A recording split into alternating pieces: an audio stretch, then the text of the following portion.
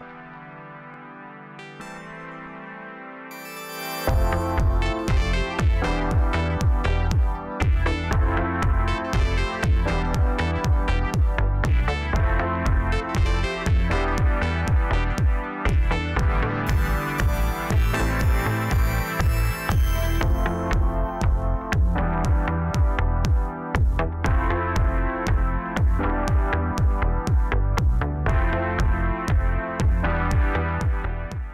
Sébastien, bonjour. Euh, alors pour commencer, on va revenir sur euh, le dernier match joué par ton équipe de U17 nationaux. Samedi 26 octobre dernier, soit une dizaine de jours environ, vous affrontiez un gros morceau, euh, le Toulouse FC, et à la clé, ici à domicile, une victoire probante, 3-0. Ta réaction sur ce match? Bah, C'est vrai qu'on a été à hauteur d'un très bon match, aussi bien euh, dans le contenu que voilà, dans l'efficacité. Euh, alors certes, Toulouse a eu un carton rouge euh, sur la fin de la deuxième mi-temps, mais ce qui m'avait beaucoup plu lors de ce match, c'est la première mi-temps. Et, voilà, on a eu des temps de possession très importants et, on a été aussi très performant aussi à la transition, ce qui a fait que vraiment on avait, c'est peut-être certainement la plus belle première mi-temps qu'on ait pu faire lors de cette première partie de saison. Alors dans cette première partie de saison, justement, il y a eu aussi un autre euh, gros match avec un déplacement à Nantes et un match nul quand même à la clé, un partout. Ça fait aussi partie des satisfactions Ouais, ouais, le match à Nantes aussi, le match de Toulouse, euh, le match de Châteauroux, euh, ici, pardon, à René Gaillard, et puis on a eu aussi une défaite au, Girondin de Bordeaux. Mais à chaque fois qu'on a pu rencontrer des clubs professionnels, euh, les garçons, ils ont vraiment su répondre présent, aussi bien dans, l'état d'esprit que dans le contenu. Et euh, c'est à travers ces matchs-là aussi qu'ils sont évalués et euh, ça nous sert de, match référence.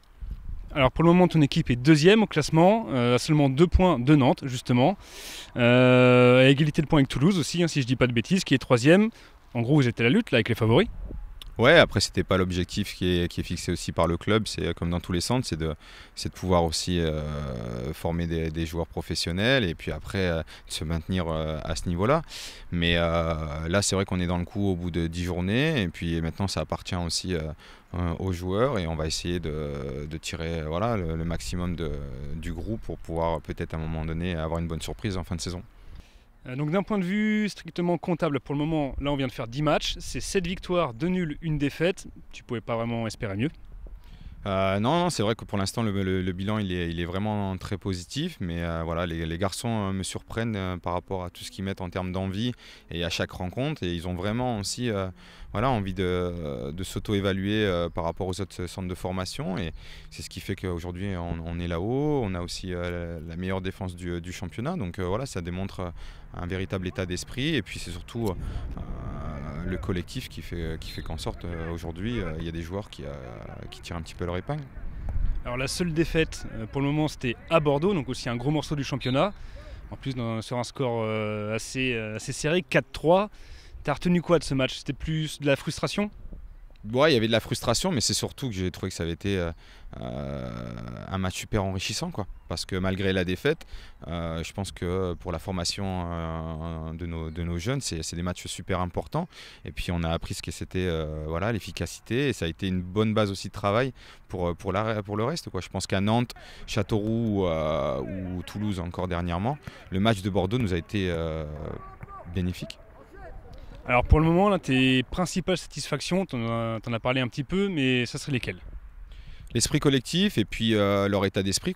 Aujourd'hui, c'est vrai que quand on, regarde, euh, quand on les regarde jouer, euh, on a vraiment la sensation de voir des guerriers. Et puis, et ce qui est super, c'est qu'au-delà de ça, ils, arrivent aussi dans le contenu et dans leurs intentions de jeu à produire quelque chose de très intéressant. Mais voilà, c'est vraiment l'état d'esprit et, et, ce collectif qui est en train de se créer. Quoi.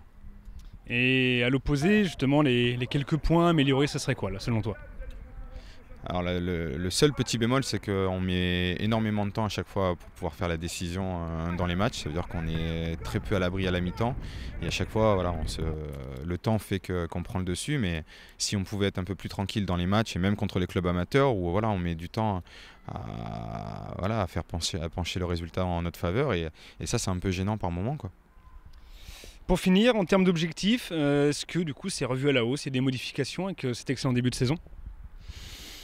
Les objectifs maintenant ils, vont leur appartenir. Et puis, et puis forcément moi je vais faire le maximum pour tirer le meilleur de, chaque joueur. Et puis si on peut aller à un moment donné voilà, terminer dans les trois premiers eh ben, on, va tout faire pour. Mais l'objectif principal je le répète c'est de former des joueurs et de maintenir le club à ce niveau là.